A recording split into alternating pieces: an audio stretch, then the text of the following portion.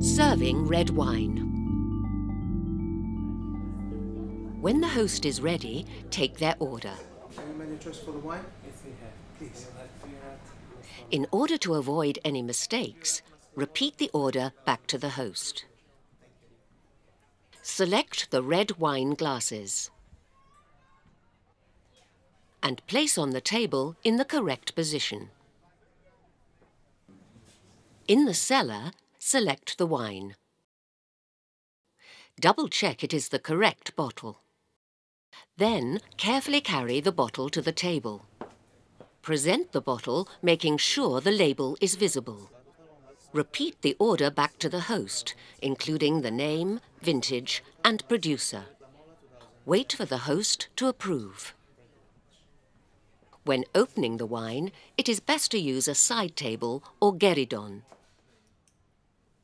First, using a waiter's friend, remove the capsule.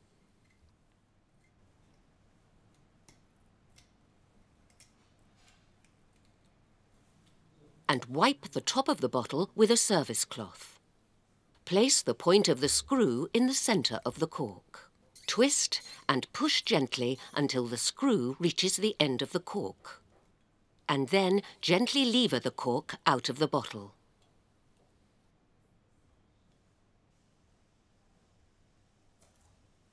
Next, wipe around the inside of the neck.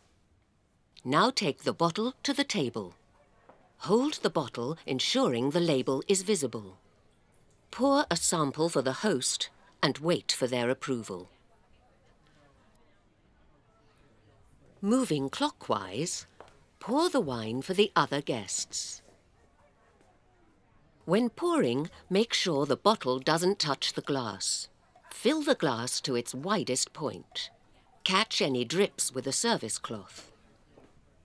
Fill the host's glass last.